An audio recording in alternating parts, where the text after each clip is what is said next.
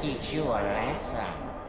Well, I made a few modifications to my mechanics since our last encounter.